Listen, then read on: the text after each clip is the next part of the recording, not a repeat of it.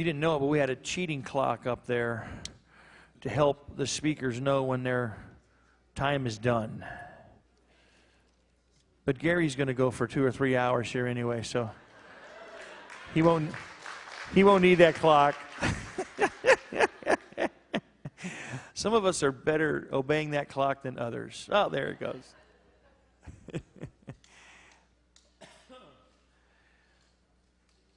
Ready? Okay. Five, four.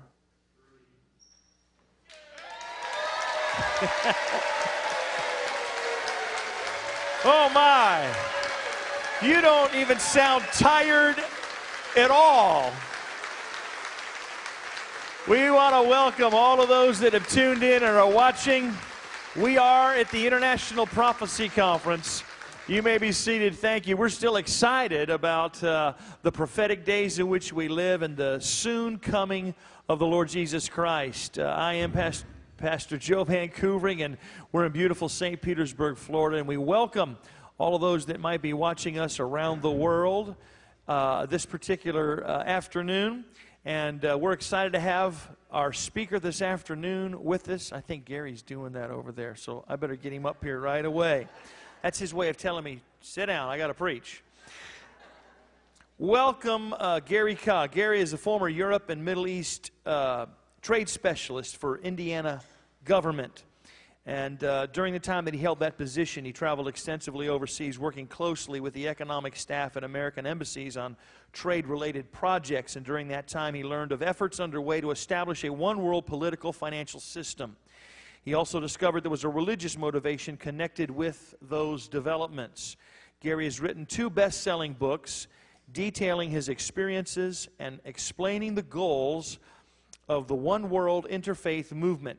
His books, En route to global occupation and The New World Religion, are fully documented and are critical in understanding today's global developments, including the current financial crisis. Gary keeps interested readers informed of the latest international economic, political, and religious developments through his research news journal entitled Hope for the World Update. Gary is often on radio, television, talk shows, and uh, Christian audiences throughout the United States as well as internationally. I've known this man for almost 20 years. He and his beautiful wife, Audrey, have watched his kids grow up. We have been good friends and colleagues for a long, long time. I trust this man. I love this man. I trust the information that he gives. And some of the information that he gives is, is somewhat controversial to some, but he always gives it with a heart of integrity and a heart that's true to the, the Bible and, and uh, the Lord Jesus Christ. And uh, I count him a great friend. I'm so honored that he was able to make it this year. Welcome one more time to the International Prophecy Conference, my dear friend Gary Kah.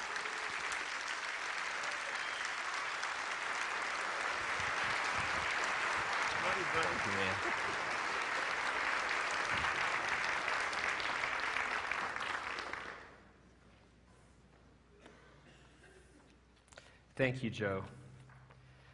We all okay on the mic? I'm getting a little bit of feedback up here, so I'm going to give you a chance to adjust that. There we go.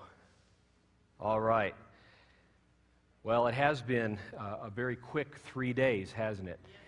Um, we always look forward to being here and um, uh, learning from each other, renewing old friendships opening the Word together, uh, informing each other, but it goes quickly. And um, Audrey and I, unfortunately, are going to have to head out about an hour or so after I'm done speaking because we have to drive back to Indiana. We have to be back by sometime tomorrow, so we still have quite a ways to drive today. But we will be around for another hour or two afterwards, and so I look forward to. I know several of you still wanted to uh, share some things with me, so I will be here for a while afterwards. Would you turn with me in your Bibles to Matthew chapter 24?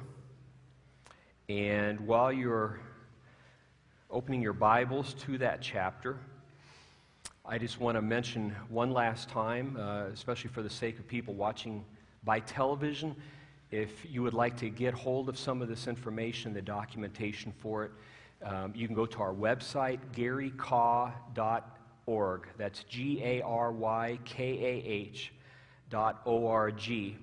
And there you can get information on our materials, uh, read some of our back articles, and also um, uh, subscribe to our newsletter that we put out. It's about a 20 page research journal. It's really not a newsletter. I don't know why we call it that. It's more of a research journal.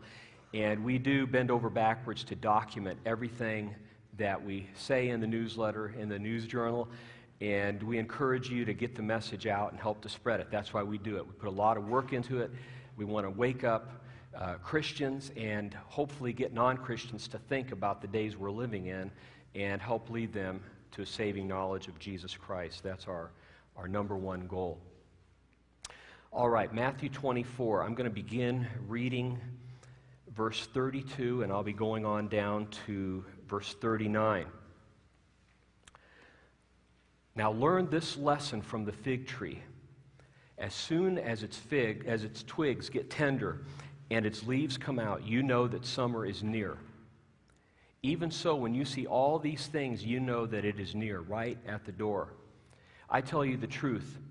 This generation will certainly not pass away until all these things have happened. Heaven and earth will pass away, but my words will never pass away. No one knows about that day or hour, not even the angels in heaven, nor the Son, but only the Father. As it was in the days of Noah, so it will be at the coming of the Son of Man. For in the days before the flood, people were eating and drinking, marrying and giving in marriage, up to the day Noah entered the ark. And they knew nothing about what would happen until the flood came and took them all away. That is how it will be at the coming of the Son of Man. Now, what Jesus was telling his disciples here and prophesying ahead to us is that we need to understand signs of the times so that we can be ready as that time approaches. And there's a reason for that because this is to have a purifying effect on our lives. If you believe the Lord's coming soon, you're going to make adjustments in your life to bring your life into line with what God's will is, what you are to do for Him and with Him as He works through you through the power of His Holy Spirit. As we approach the second coming of Christ, we are to be ever increasing lights in this dark world as the world is getting darker and darker. In fact, in Philippians 2:15 it tells us to become blameless and harmless children of God without fault in the midst of a crooked and perverse generation, among whom you shine as lights in the world. We are to be shining lights for the Lord Jesus Christ in these last days, as never before. Now, the reason I open up with these passages and saying this is this afternoon we're going to look at a number of different organizations developments, individuals. Some things will be exposed. And I don't take this lightly. And I don't want us to get into the mindset where we're just relishing the opportunity to expose other people and shed light on, on, on what they're doing without reflecting upon ourselves all along the way. We need to make sure we're living righteously before the Lord. And so self examination ought to be a big part of this. So I wanted to say that up front. Um, I've, I've, been hesitant over the last year or two to share some of these things because I don't want to come across as if I'm bashing anyone. But there are things going on today, even in some Christian circles, that we simply have to be aware of in order to be discerning. And, and so I hope you, you understand why I am speaking on the subject that I'm speaking on this afternoon. Let's begin by going to the Lord in prayer. Father in heaven, you are so good to us. You're so merciful and gracious, even though we don't deserve it.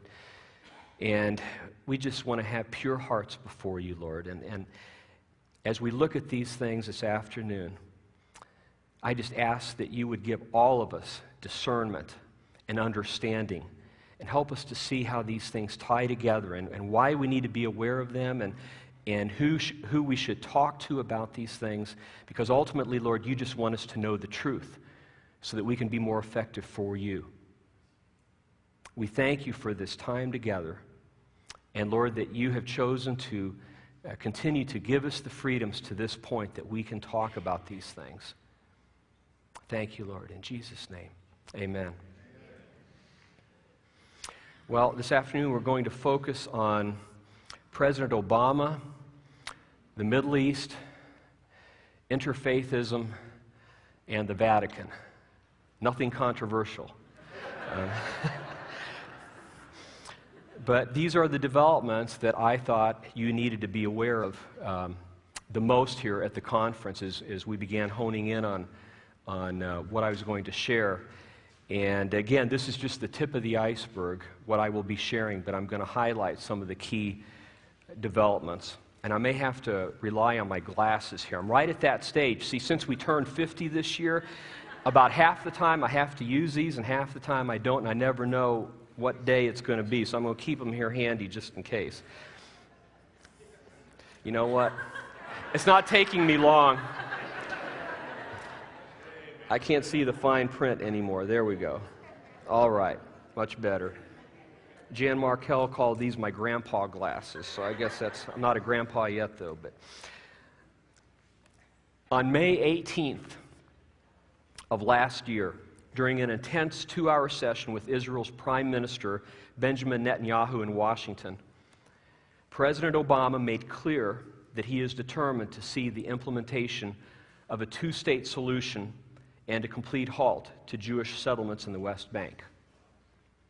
According to the news source, Jerusalem Newswire, a few days before this important meeting, White House Chief of Staff Rahm Emanuel warned that the two state solution remains, quote, the only solution, and that Israel had arrived at, quote, its moment of truth. This is from Rahm Emanuel. Obama is clearly using the stick and carrot approach with Benjamin Netanyahu. If Netanyahu wants to see the Iranian nuclear threat effectively confronted by the U.S., he must ensure progress on the Israeli Palestinian front.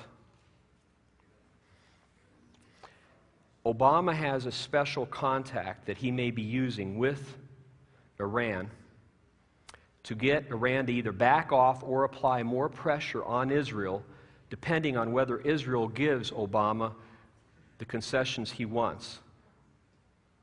Have any of you ever heard of a man by the name of Raila Odinga? Can I see a show of hands? I'm curious. Maybe two or three percent of you.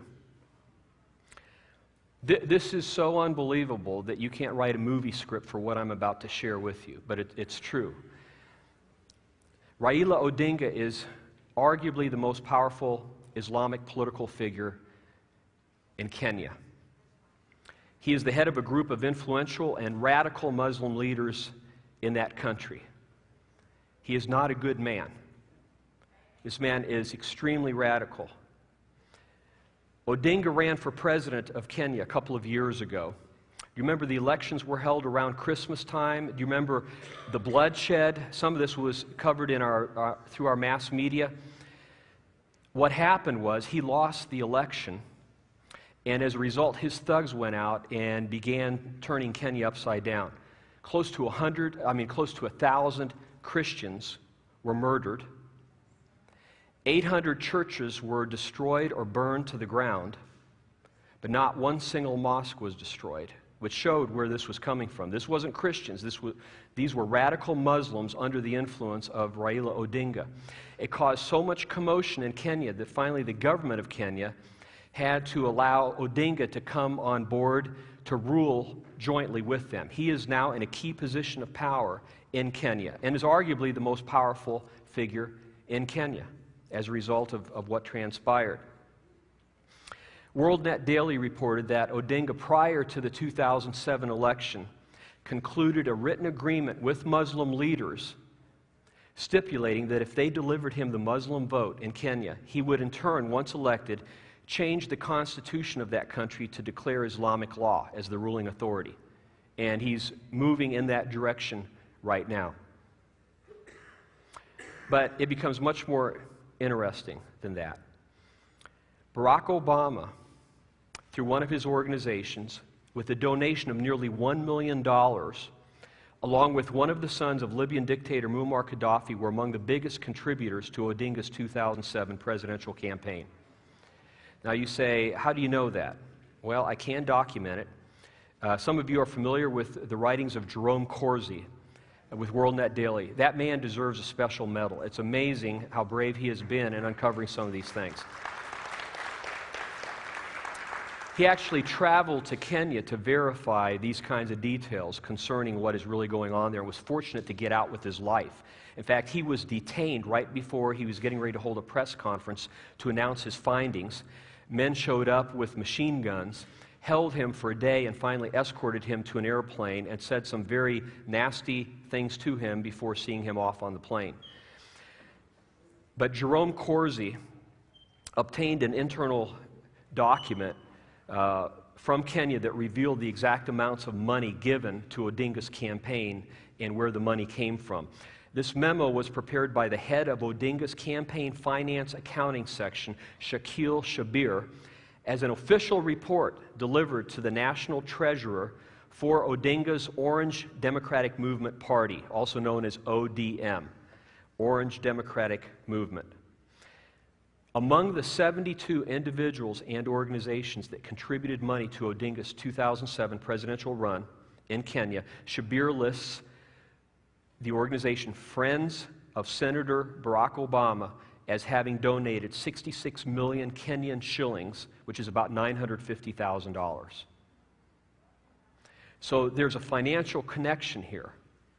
That's right, our current president a little bit over two years ago, helped, helped to fund the campaign of this radical Muslim figure in Kenya who is now in power there. But it gets worse.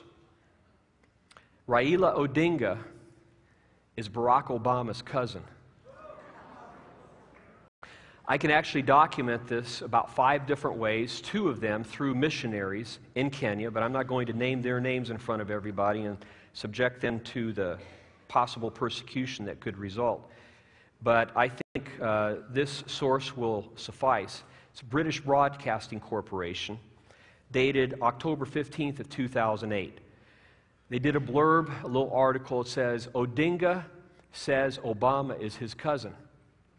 And the article states Mr. Odinga told the BBC's The World Today that Senator Obama's father was his maternal uncle. The Kenyan leader made the statement in an interview in which he discussed foreign interest in the political turmoil in his country. He said Mr. Obama had on Monday taken time out of campaigning for the New Hampshire primary to call him twice to express his concern and to say that he would also be calling Mr. Kibaki, his opponent. It's BBC News a few weeks before the election over here. It's right up until the time that the election was taking place in the United States. Obama was in touch with his cousin in Kenya, checking in with him on a regular basis. On February 25th of 2009, Ahmadinejad of Iran made a trip to Kenya in which he held a one on one meeting with Odinga at the Laico Regency Hotel in Nairobi. So we know that those two men have been in touch. And then they met again.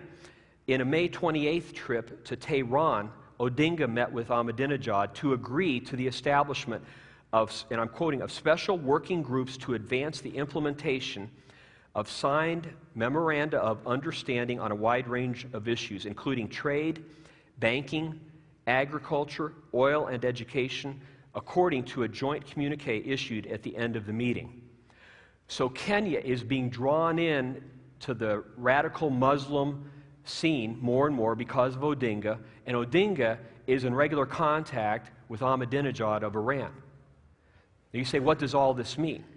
Well, if you th- put the pieces together, our president, whose cousin is Odinga, meeting with Ahmadinejad, Obama can communicate through Odinga to Ahmadinejad and have him apply more pressure on Israel or less pressure on Israel, depending on what Obama what concessions he gets from Israel. This is entirely possible. There's got to be a reason why Obama wanted his cousin in power so bad in Kenya that he was willing to uh, funnel $950,000 in his direction. In late June, early July of last year, within a few days of each other, Barack Obama, the Pope, and Tony Blair each called for a two state solution in Israel using almost identical language, all within a few days of each other. That was not a coincidence. I believe that was coordinated. They came out at the, almost the exact same time with the same wording. All three of these men are working in cahoots on the Palestinian Israeli crisis. Their efforts are being coordinated largely through the Vatican. In fact, Tony Blair has made regular trips to the Vatican. Actually, after he stepped down as Britain's prime minister, he converted to Roman Catholicism. Uh, probably most of you are aware of that by now. And then within uh, months of that, he began traveling regularly to the Vatican on his way to Israel, being involved in negotiations for East peace. We also know that Palestinian leaders have gone to Rome on several occasions to meet with Vatican officials.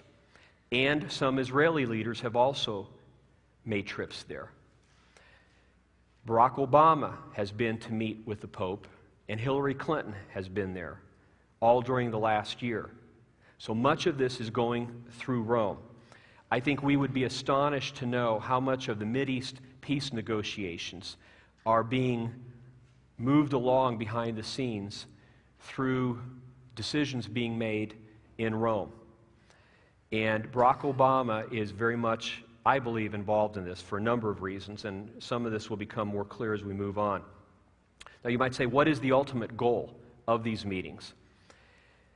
I believe the number one goal of these individuals is to internationalize Jerusalem. They want to take Jerusalem away from being under the sovereign control of the Israelis, and they want to, want to put it under the control of an international organization, either uh, the United Nations or an empowered European Union, the way things are, are shaping up. Secondly, they would like to unite Islam, Judaism, and Christianity and make Jerusalem the interfaith religious capital of the world. They want to see these religions brought together. Why? If there's going to be a global government down the world, somehow these religions have to be united, at least to a degree, to make that possible. So there's a strong religious element to all of this. Those efforts will then lead, I believe, to the rebuilding of the temple. The question is who will be worshiped in this rebuilt temple? Many of you are familiar with uh, David Brickner, Executive Director of Jews for Jesus. He wrote an excellent article last August, August 15th. It's called Rebuilding the Temple Revisited. And I just want to share a few quotes with you. He begins the article with the following scenario The request reads Children wanted for future temple service. Ultra Orthodox Jewish sect is searching for parents willing to hand over newborn sons to be raised in isolation and purity in preparation for the rebuilding of the biblical temple in Jerusalem. Only members of the Jewish priestly caste, the Kohanim, need apply. End quote. Brickner continues Words from an ancient scroll discovered in a recent archaeological dig, or perhaps an excerpt from a Hollywood screenplay for some biblical epic? Actually, those words appeared in the contemporary Israeli newspaper Haaretz. Brickner continues Is there a rebuilt temple in Israel's future? The Hebrew scriptures in the New Testament both refer to that temple and to tragic events that will occur there in the last days. First, the prophet Daniel and then Jesus, referring to Daniel's prophecy, warned people about the abomination that causes desolation standing in the holy place. Daniel 9:27, Matthew 24:15, as well as some other passages. Daniel predicts a terrible time of tribulation beginning with a peace treaty signed between Israel and the Antichrist. Perhaps the treaty will actually clear the way for the rebuilding of the temple. Anyone who could facilitate such momentous accomplishment would be sure to win the respect and trust of many Jewish people worldwide. But whatever respect and trust the treaty engenders will soon be betrayed. This betrayal will be manifested in such an insidious manner that Daniel can only describe it as the abomination. The fact that nearly two thirds of today's Israeli Jews hope to see the temple rebuilt should give us pause, should cause us to be circumspect about the times we are living in. Those who understand this teaching of Scripture will temper their eagerness to see the temple rebuilt with the realization that it will one day set the stage for Israel's darkest hour. But the saying holds true it is darkest just before dawn. And of course, right there, Brickner is referring to the second coming of Christ. But between now and then, the rebuilt temple, the way things are shaping up, there's going to be much more to it the way it's presented than maybe what we've been aware of. So I'm going to continue on here. I was absolutely shocked by some of these um, findings I'm, I'm going to share with you. This following article discusses a scenario under which the temple could be rebuilt. This article actually appeared in WorldNet Daily on August 5th of last year. It's titled, What? Muslim leader wants temple rebuilt? It says the idea of rebuilding the Jerusalem temple on a foundation occupied and administered by Islamic militants might seem fanciful, even preposterous. But the author of a new book returned from Turkey recently with news that a prominent Islamic teacher and best selling author and Jewish Sanhedrin rabbis are conspiring to do just that. Author Joel Richardson reveals the historically unprecedented development. Now, this is Joel Richardson speaking, sharing his experience. He writes Adnan Oktar, spelled O K T A R, who uses the pen name of Harun Yahya, is a controversial but highly influential Muslim intellectual and author with more than 65 million of his books in circulation worldwide. I believe he's the number one best selling Muslim. I'm not positive, but I believe he is. Oktar recently met with three representatives from the reestablished Jewish Sanhedrin, a group of 71 Orthodox rabbis and scholars from Israel, to discuss how religious Muslims, Jews, and Christians can work together on the project.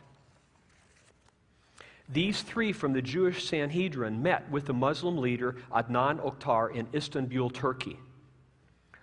The objectives of the alliance include waging a joint intellectual and spiritual battle against the worldwide growing tide of irreligiousness, unbelief, and immorality, explains Richardson, who also met in Turkey with Oktar to interview him. But even more unusual is their agreement with regard to the need to rebuild the Jewish temple, a structure that Mr. Oktar, a Muslim, refers to as the Masjid or mosque or the Palace of Solomon. An official statement about the meeting has been published on the Sanhedrin's website. Concluding the statement is the following call. This is a rather lengthy quote but this has been posted on the website of the Sanhedrin in their own words. Listen to this. Out of a sense of collective responsibility for world peace and for all humanity, we have found it timely to call to the world and exclaim, and exclaim that there is a way out for all peoples. It is etched in a call to all humanity. We are all the sons of one Father, the descendants of Adam, and all humanity is but a single family. Peace among nations will be achieved through building the house of God, where all peoples will serve as foreseen by King Solomon in his prayers at the dedication of the first holy temple. Come, let us love and respect one another, and love and honor and hold our Heavenly Father in awe. Let us establish a house of prayer in His name in order to worship and serve Him together for the sake of His great compassion. He surely does not want the blood of His creation spilled but prefers love and peace among all mankind. We pray to the Almighty Creator that you hearken to our call. Together, each according to his or her ability, we shall work towards the building of a house of prayer for all nations on the Temple Mount in peace and mutual understanding. End quote. Oktar explained his vision then for the rebuilding of Solomon's temple in his interview to Richardson. This is Oktar now, a Muslim speaking. And I quote him He says, The Palace of Solomon is a historically important palace, and rebuilding it would be a very wonderful thing. It is something that any Jew, a Christian, or a Muslim should welcome with enthusiasm. Every Muslim, every believer will want to return to those days, to experience those days again, and albeit partially, to bring the beauty of those days back to life. Oktar added that the Temple of Solomon, quote, will be rebuilt and all believers will worship there in tranquility, end quote. During his meeting with the Sanhedrin rabbis, Oktar expressed his belief that the temple could be rebuilt in one year from the time it's begun. I quote him It could be done in a year at most. It could be built to the same perfection and beauty. The Torah says it was built in 13 years, if I remember correctly. It could be rebuilt in a year in its perfect form. Now, this is pretty mind boggling because this is the, the best selling Islamic author in the world pushing for this, but from an interfaith standpoint. You understand, they, they want to present this temple as a type of interfaith house of worship where people from all the world's different religions can come together there. This is not the only similar call to rebuild the Jewish temple, points out Richardson. Yoav Frankel is an Orthodox Jew who has been deeply involved in interfaith dialogue with Muslims and also envisions a shared Temple Mount. Also, the Interfaith Encounter Association is working on a project called God's Holy Mountain. It sees the day when the rebuilt Jewish temple will exist side by side with the Dome of the Rock. Richardson sees such plans tying into Barack Obama's calls for internationalizing the city of Jerusalem. You see, all these developments are going on at the same time. Very powerful forces uh, that our, our own president is part of are pushing for the internationalization of Jerusalem at the same time that behind the scenes you've got religious leaders from Islam, Judaism, and Christianity, as we'll see, coming together pushing for this development. But I believe it's interfaithism. You understand what I mean by interfaithism, right? Some of you who are new to this, we're talking about the idea that all religions are pathways to God. That there's, there's more than one way. It's not just through Jesus Christ, but it's through multiple ways that you can uh, uh achieve um, uh, salvation or uh, live forever in eternity. Now, I've shared a little bit about some of the developments taking place among a few of the Sanhedrin members and some Islamic leaders. But you might wonder, I haven't heard anything yet about, about Christians. Somehow, Christianity has, been, has to be brought into the mix on this as well in order for it to work. And I wish I didn't have to share this following part, but I'm, I'm doing it as, as humbly as I possibly can. And I am not wanting to speak about any of these individuals in a condescending manner, and I hope you understand that. But I found out last June that the Islamic Society of North America, which happens to be headquartered just 40 miles from our house in Plainfield, Indiana, was going to be holding its annual convention, which is the largest annual gathering of Muslims on the continent, in Washington, D.C. over the 4th of July weekend. And as part of this gathering in Washington, D.C., they invited Rick Warren to be their keynote speaker. And Rick accepted the invitation and he spoke to this group. And this is a pretty radical group if you follow the trail and their affiliations. Joining Warren for the session was the Islamic Society of North America's president, Ingrid Mattson, and noted Muslim scholar Hamza Yusuf spelled Y U S U F. Now, if, if Rick had gone to share with these people the love of Christ, he might have been taking his life into his own hands. I don't know, he might have been stoned. But I believe the only way that the Apostle Paul would have done something like this. And I think he, he would have if he would have been able to present the gospel. And he would have done so in as loving of a way pos- as possible, and he might have had to pay some consequences as a result. That's the only way I can justify going to this type of meeting. Because if you're not going for that purpose, then you're only helping to lend credibility to this organization and giving it visibility among Christians, especially if you're an individual who has millions of followers behind you in America and around the world. So this is very troubling. Then I found out that uh, Rick Warren also became a member of the board of directors of Tony Blair's Faith Foundation. Now, if you're not aware of this, Tony Blair, uh, after stepping down from being Britain's prime minister and after converting to Catholicism, he started a faith foundation whose stated purpose is to unite the world's religions. He even taught a course on this at Yale University just last year. He is very much into this, bringing the religions of the world together because he believes that's the only way that the Mideast peace can be achieved. And so now Rick Warren is on his board, along with a Muslim cleric and people of other religions. Again, I have a serious problem with that. I think you should as well, uh, because we're looking at interfaithism here uh, Rick Warren is lending credibility to this uniting of the world's religions. Whether he believes Jesus is the only way or not, the appearance it's giving is that it's all right to come together with all the world's religions and have unity in that sense. I did write uh, Rick Warren a letter a few years ago when I first uh, found out that he was becoming involved in certain organizations that I was very concerned about before I even learned any of this. And I wrote the letter very carefully over a period of a couple of days, very prayerfully.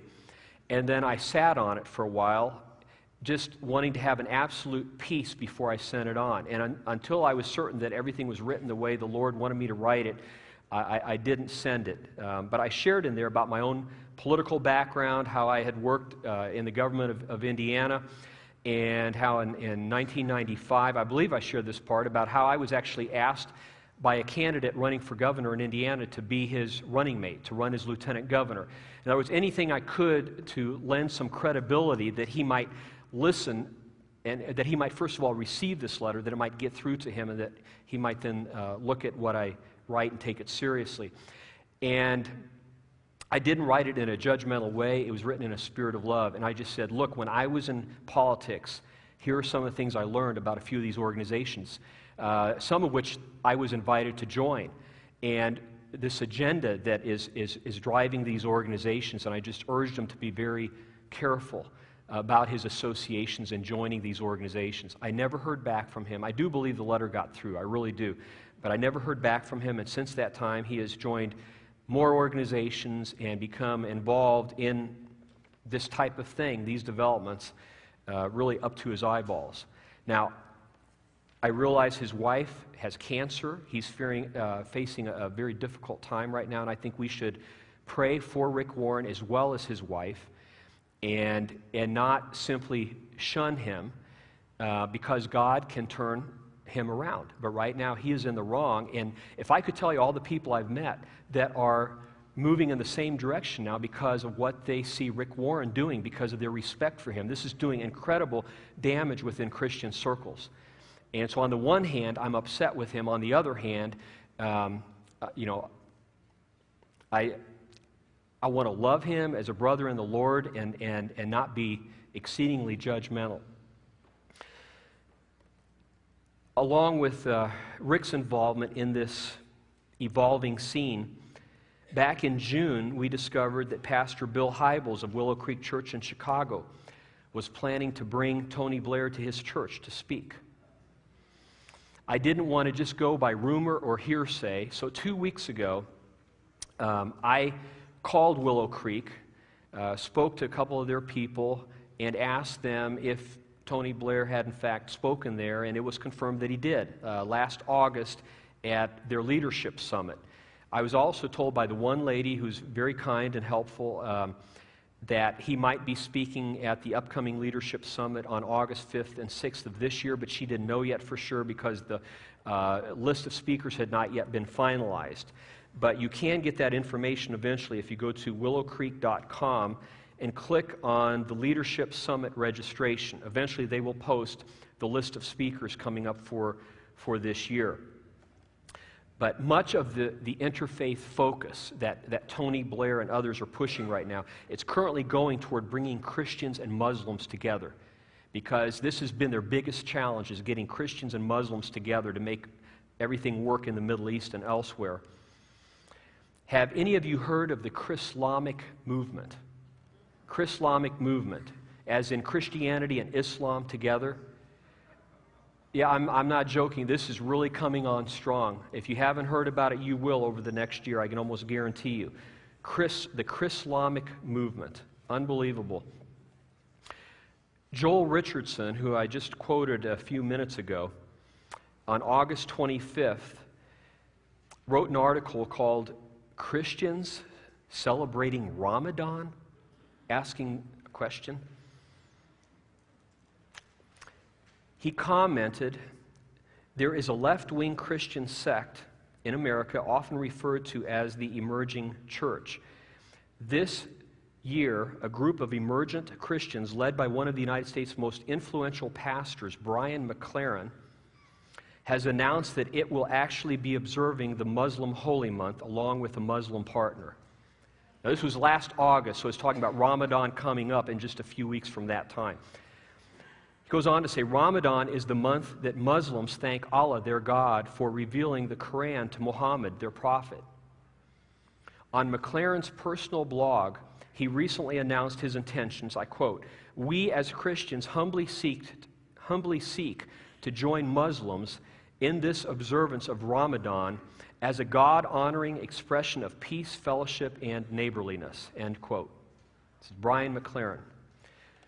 But does such an interreligious observance go beyond mere neighborliness and cross the line of religious compromise and syncretism? Does observing the religious holy month of Ramadan create the impression of an endorsement of Islam? Richardson believes it does, as do I, and I believe most of you would agree. McLaren, a leading voice in this movement, wants everyone to know that he is not converted to Islam, but is a deeply committed Christian. But McLaren is not fasting for the salvation of his Muslim friends. Instead, he is seeking, through the practice of this Islamic ritual, to promote, quote, the common good together with people of other faith traditions, end quote. That's a huge step in the direction of interfaithism. Richardson continues Despite McLaren's well articulated niceties, what is clearly missing among his five posts on his personal blog is a single mention of praying for Muslims to come to Christ. This stands in stark contrast to the 30 Days Prayer Network website, where a loving but firm position is maintained. And those people have done an excellent job in reaching out to Muslims in a spirit of Christian love, the way it ought to be done. While loving and befriending others is paramount to the Christian faith, the Bible is clear that Christians are to avoid actually participating in their religious ceremonies. 2 Corinthians 6 14 and 15 says, Do not be bound together with unbelievers. For what partnership have righteousness and lawlessness? Or what fellowship has light with darkness? Or what harmony has Christ with Belial? Or what has a believer in common with an unbeliever?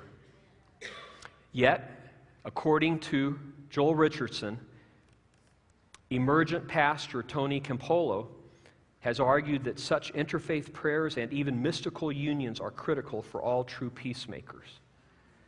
So, whether it's Campolo, Hybels, Warren, Brian McLaren, there's a pattern here and a trend. These people are, in fact, moving toward a unification of the world's religions. And they've already dragged a good part of Christendom into all of this right behind them. And that's why we need to have conferences like this because people need to be aware of it. Evangelicals must be warned against interfaithism because it's a huge deception. Jesus stated in no uncertain terms in John 14 6 that he is the way and the truth and the life, and that no one comes unto the Father except through him.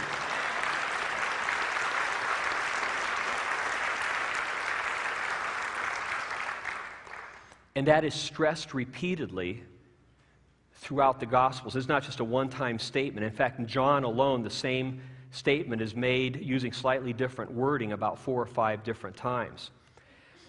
What concerns me is that today, unfortunately, there is a growing abundance of false unity out there. But at the same time, unfortunately, there's a lack of true unity, the kind that Jesus called for in John 17 in his high priestly prayer. So we've got the wrong kind of unity going gangbusters, and the kind of unity we need, there's a lack of. You know, so many times Christians who are largely on the same page, they might differ a little bit here and there on some things, but they're bickering over some of the smallest things. And then over here, you've got some of the leaders of Christendom uniting with the leaders of other religions. So it, it's so important that we get our act together and swallow our pride.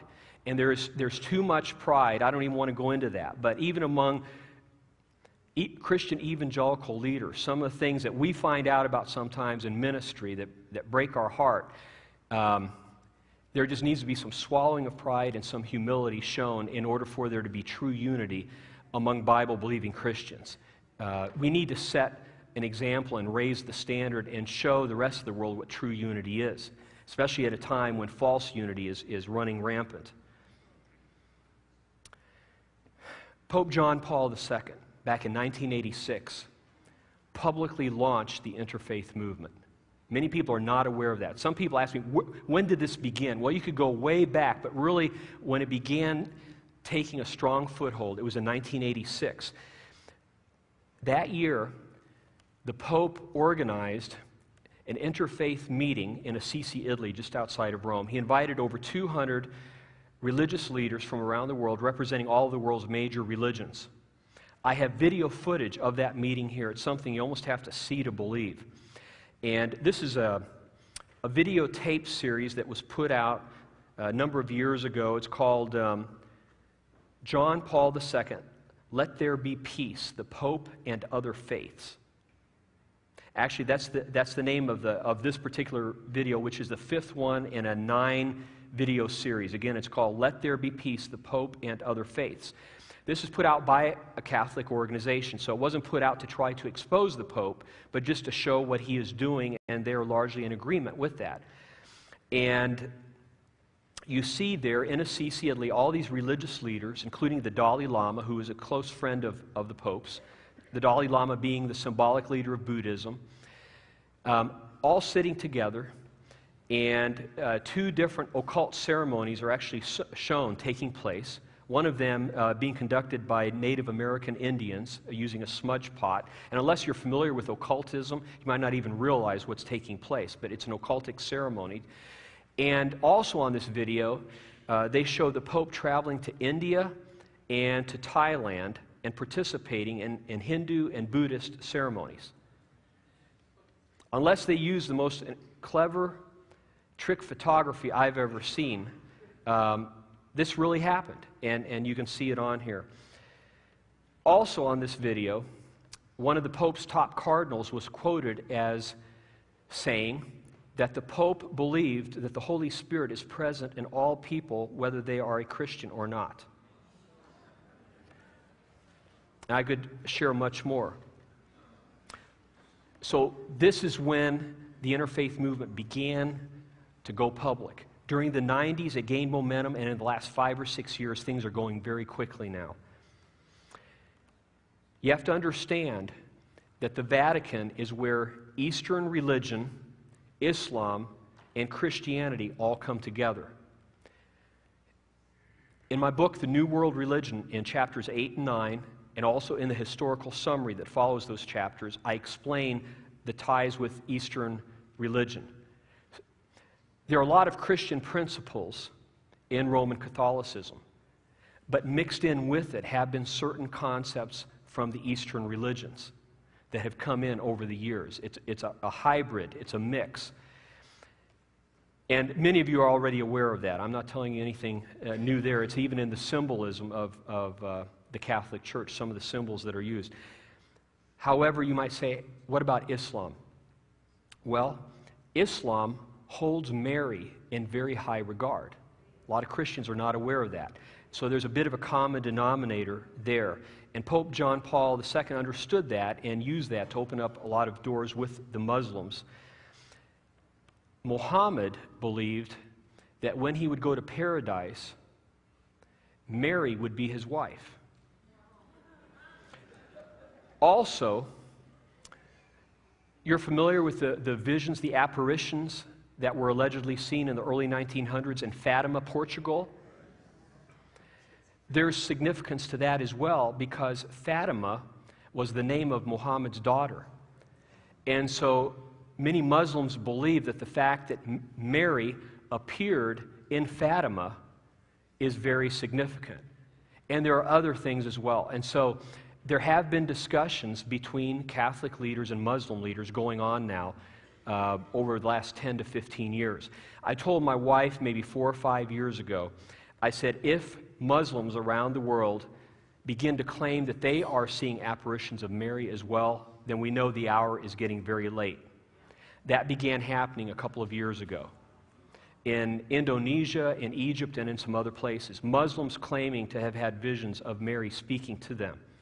Now, it's interesting, many of the visions that are being seen around the world where people are traveling to have these experiences have to do with people rallying around the Pope and following his lead on different things he is pushing for, all to bring about world peace. So just keep, keep that in mind and be aware of that. I think we're going to see more and more of this in the days ahead. While the current Pope was actually a mentor of sorts to Pope John Paul II on, on issues of dogma. They were contemporaries, they're close to the same age. But a lot of people are not aware of the fact that the current pope actually helped to mentor the previous pope in the area of dogma. And that's why you have not seen a lot of change between the previous pope and, and this pope. They, they're moving in the same general direction. But the popes have also been very active in global politics. Shifting gears just a little bit here. On July 6th, Pope Benedict issued his Charity and Truth Statement, also known as an encyclical.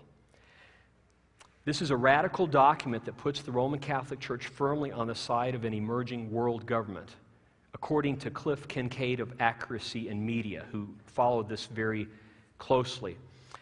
I have some direct quotes from the Pope's encyclical. I just want to share a few excerpts the Pope said, In the face of the unrelenting growth of global interdependence, there is a strongly felt need, even in the midst of a global recession, for a reform of the United Nations organization and likewise of economic institutions and international finance so that the concept of the family of nations can acquire real teeth. Now, did you catch that? The concept of the family of nations so that it can acquire real teeth through economic reforms. Globalists have for years wanted a structure in place with real teeth, in other words, power, to be able to enforce these international principles. That's what's being talked about here. He goes on, he says, This seems necessary in order to arrive at a political, juridical, and economic order which can increase and give direction to international cooperation for the development of all peoples in solidarity. For all this, he says, there is urgent need of a true world political authority. End quote. He's basically calling for world government. A lot of other people call it a world political authority as well. The New World Order, world government, it's all the same thing. This was from the Pope last summer. Benedict went on to say that such an authority would have to be regulated by law and would need to be universally recognized and to be vested with the effective power to ensure security for all. Obviously, it would have to have the authority to ensure compliance with its decisions from all parties and also with the coordinated measures adopted in various international forums, he said. In its coverage of the Pope's statement, Reuters News Service added the following.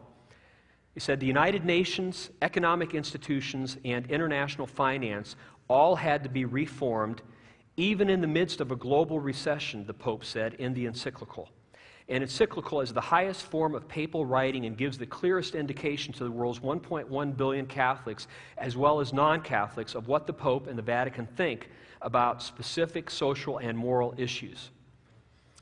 It was addressed to all Catholics as well as, quote, all people of goodwill, and was released on the eve of the start of the G8 summit in Italy, and three days before the Pope was due to discuss the global economic downturn with U.S. President Barack Obama. So the timing of these statements was not a coincidence. These were political statements intended to have a political impact. According to the Associated Press, President Obama sat down with Pope Benedict at the Vatican on July 10th for a meeting in which frank but constructive talks were held. It's a great honor, Obama said as he greeted the Pope, thanking him for this first meeting. They sat down at the pontiff's desk and exchanged pleasantries before reporters and photographers were ushered out of the ornate room. The Pope was heard asking about the Group of Eight summit, the meeting of developed nations that concluded before Obama's arrival at Vatican City. Obama said it was very productive. The Pope and Obama met for half an hour, then were joined by First Lady Michelle Obama. Upon leaving, Obama again thanked the Pope. We look forward to a very strong relationship between our two countries, he said. Obama speaking. Obama, I believe, realizes the importance of the Pope's role in behind the scenes Mideast politics and in pushing interfaithism and globalization. Even though Obama is pro abortion and pro homosexual, even going so far as declaring June as National Gay, Lesbian, and Transvestite Month in the United States, he and the Pope are working together on a number of fronts.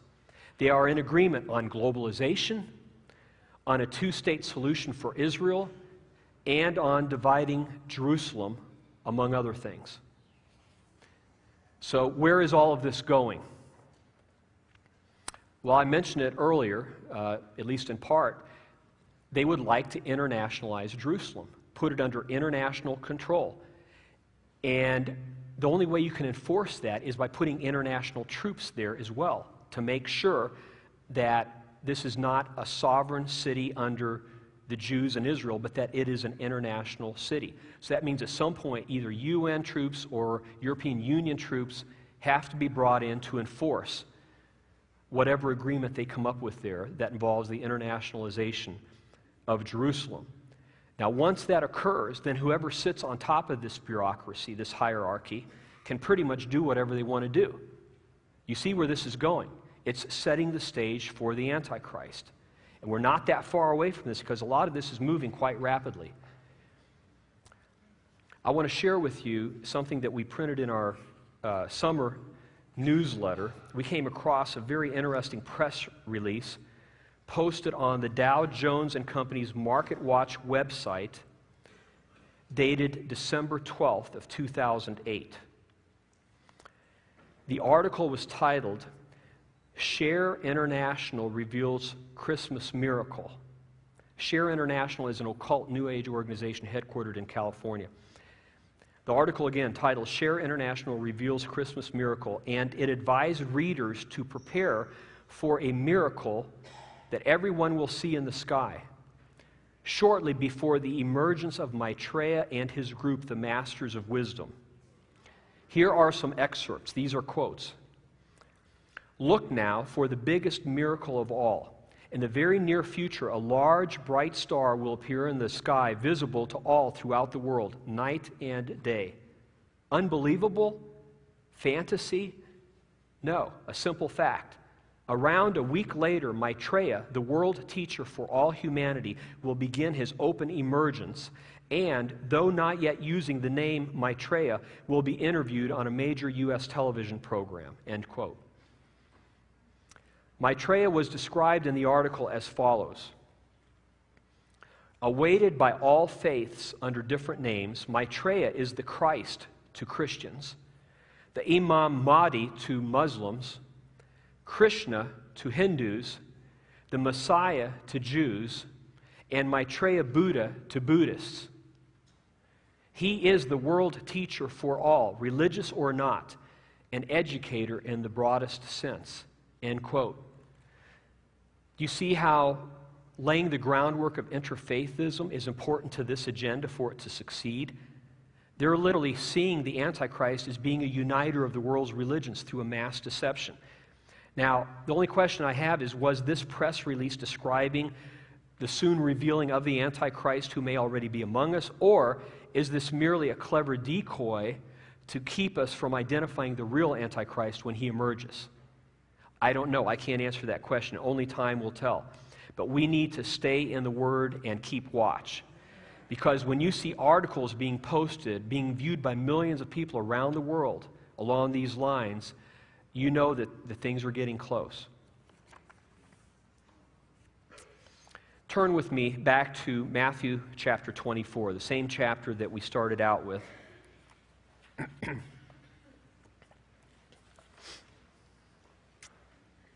Matthew 24, beginning with verse 23. Jesus said, At that time, if anyone says to you, Look, here is the Christ, or there he is, do not believe it. For false Christs and false prophets will appear and perform great signs and miracles to deceive even the elect, if that were possible. See, I have told you ahead of time.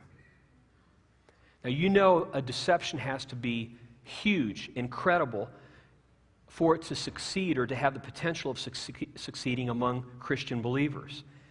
And that's why I believe no matter how the Antichrist comes to power and all the things leading up to that, there's going to be an element of deception that takes place in the name of Christ, but that will not be of Christ. 1 Timothy chapter 4 verses 1 and 2 as well as 2 Timothy chapter 4 verses 3 and 4 along with 2 Thessalonians chapter 2 and Revelation chapters 13 and 14 are just a few of the other passages that warn us of an unprecedented deception that will take place in the last days just prior to the return of Jesus Christ. 2 Corinthians 11:14 warns us that Satan masquerades as an angel of light and his servants as servants of righteousness. So we shouldn't be surprised that even certain Christian leaders are being drawn into this and taking others with them who aren't discerning. But the prophet Daniel tells us that those who know their Lord will be strong and do great exploits. Daniel 12, 3 and 4. So, all these things taking place, the fact that we're privy to this information and have it, it just takes a little bit of research. We can then use this to help open up people's eyes, help them to be better discerning, and even help lead non Christians to saving knowledge of Christ. Because all of this is moving in the direction of the fulfillment of Bible prophecy, proving the Bible to be true. Because we were warned about this 2,000 years ago, in some cases longer than that, and now we see it taking place before our very eyes. The Lord wants us to be wise and to be engaged in speaking His truth, which will result in leading many to righteousness, salvation in Christ. To please the Lord in these last days, we have to be discerning and persevering. We have to understand the truth and then persevere in it. The two go together. Toward that end, James 1:12 has become probably my favorite life verse.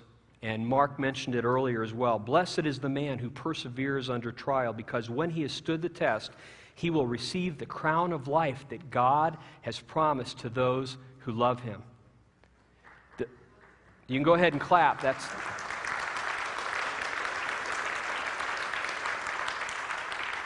But the emphasis here is on blessed will be the person who perseveres under trial, who perseveres in the truth for the sake of the Lord.